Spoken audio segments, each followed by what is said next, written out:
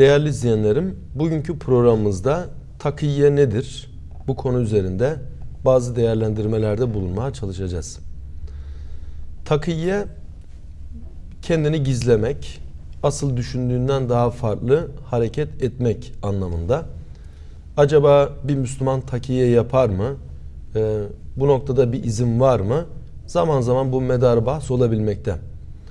Ve e, İslam dünyasında özellikle Şia'da bu bir esas şeklinde görülmekte. Ama e, diğer e, yüzde sekseni meydana getiren Sünni camiada doğrudan bir esas değildir.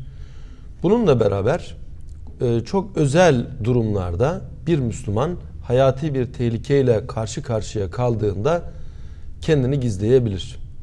Bu noktada Kur'an-ı Kerim'de mesela e, Firavun döneminde yaşayan bir müminden söz ediliyor. Mümini eğer Firavun, Firavun hanedanında olan e, Hz. Musa'ya iman etmiş ama kendini gizlemiş olan bir müminden söz ediliyor.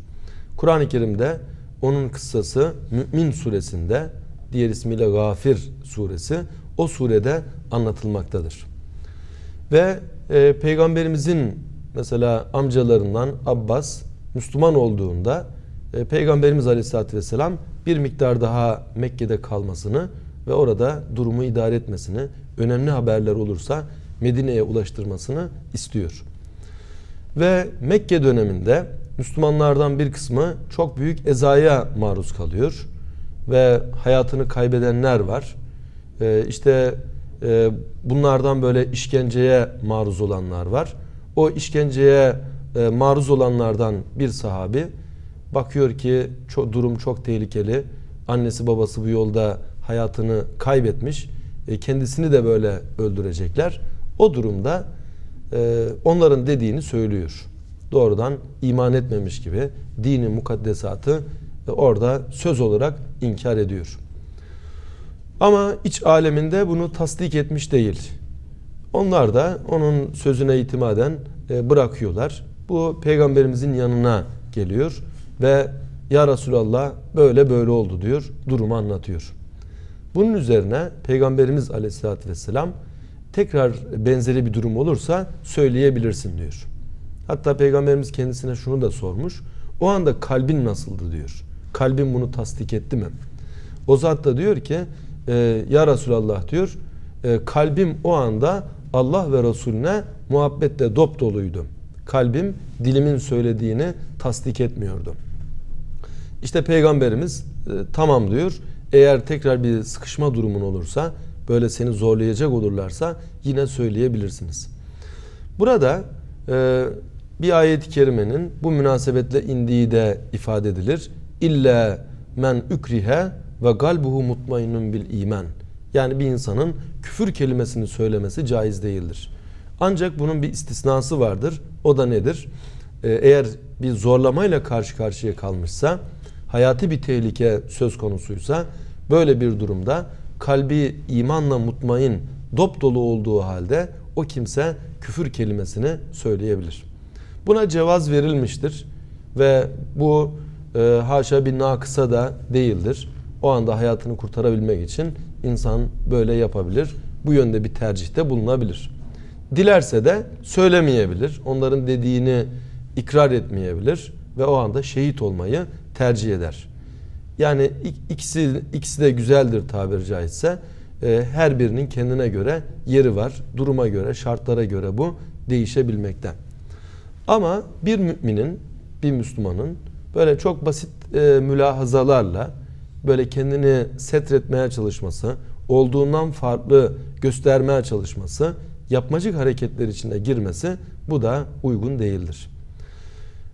Hayati bir tehlikenin olması lazım ki öyle durumda e, gerçekten diğerlerinin hoşuna gidecek sözü söyleyebilsin. Hayati bir tehlike söz konusu değilse o insanın e, takiye yapması tabir yerindeyse caiz görülmemiştir. Bununla beraber günümüzde takiye ile alakalı meseleyi değerlendirecek olursak Müslüman veya gayrimüsliman e, insanlık aleminde pek çok insan bulunduğu durumlarda bakıyorsunuz ki takiye ile ifade edilen durumu yapıyor, uygulamada yapıyor. Diyelim adam siyasidir, dini değerlere pek de sıcak değildir. Ama e, dindarlardan oy alabilmek için sanki bir dindarmış gibi onların yanında konuşabiliyor. Mesela e, seçimler yaklaştığında bakarsınız ki aday olmayı düşünen bir takım insanlar camilerde de görülmeye başlar. Hatta sabah namazlarına bile gelmeye başlar. E, diyelim seçimi kazanıncaya kadar böyle gider. Bunun neticesinde seçimi kazanmışsa artık diğer seçime kadar ortalıkta pek görünmez. Bu da e, dini bağları olmayan, belki de hatta dine muhalif olan kimselerin yapmış olduğu bir takiyedir. Ve dünyanın başka yerlerinde de örnekleri görülebilen bir durumdur.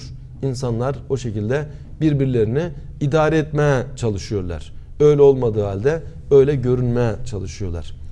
İslami terminolojide bir insanın olduğundan farklı görülmesi münafıklıktır. Ve münafıklık da iyi bir özellik değil. Kafirden daha da kötü olan bir durum. Yani kafir doğrudan doğruya inkarcı olduğunu söylüyor. Harbi olarak açıktan böyle kafir olduğunu söylüyor. Ama münafık sanki Müslümanmış gibi görünüp Müslümanların aleyhinde iş yapmaya çalışıyor. Bu açıdan münafığın zararı kafirin zararından çok daha fazladır.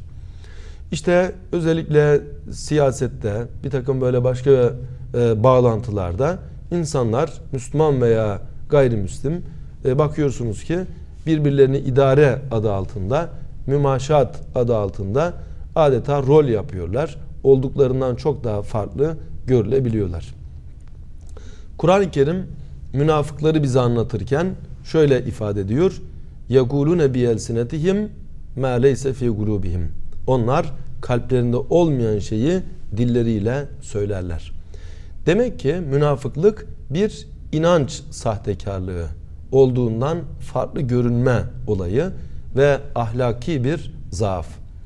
Diyelim ticaretle meşgul olan birisi halkımızın ekserisi dindardır diye o da dindar görülse ama gerçekte e, dini değerlere hürmetkar değil daha fazla kazanmak için böyle yapıyor.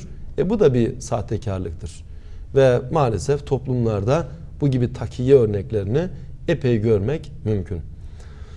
Ya olduğun gibi görün veya göründüğün gibi ol. Mevlana'nın böyle bir ifadesi var. Çok güzel bir ifade. Duruş çok mühim. Yani bir Müslümanın duruşu net olmalı. Hal ve hareketleri net olmalı. Tavırları net olmalı. Rol yapmamalı. Böyle suni hareketlerde bulunmamalı. Ama zaman zaman belki bir takım konjektürel durumlarda, özel durumlarda tam böyle e, fıtri hareketlerini ortaya koyamayabiliyor. Şartlar bir nevi onu gerektirebiliyor. Ve bu durumda da bakıyorsunuz e, iç aleminde bir takım sıkıntılarla karşı karşıya kalıyor. İdeal boyut insanın samimi olması e, ve kalbinin tasdik ettiği şeyleri dilinin söylemesi. Eğer kalp tasdik etmiyorsa da bu gibi şeyleri zaten telaffuz etmemesidir. İslamiyet bize en güzel ahlakı, en güzel ideal insan tipini ortaya koymuştur. Ama uygulamada e, insanların problemleri olabiliyor. Herkes dört dörtlük olamayabiliyor. 24 ayar altın gibi olamayabiliyor. Bakıyorsunuz ki nasıl ki altının içine bir miktar bakır karıştırılmışsa kalite düşer. Diyelim 24 ayardan 18 ayara düşer. Onun gibi e, Müslüman kardeşlerimizin bir kısmı da belki bazı durumlarda tam böyle 24 ayarlık kaliteyi tutturamayabiliyor. Ama ideal boyut bu değildir. Bir Müslümanın samimi olması, göründüğü gibi olması, olduğu gibi görünmesidir. Cenab-ı Hak samimiyette ve bütün güzel ahlaklarda hepimizi muvaffak eylesin. Bir başka programımızda görüşmek üzere. Hayırlı günler diliyorum.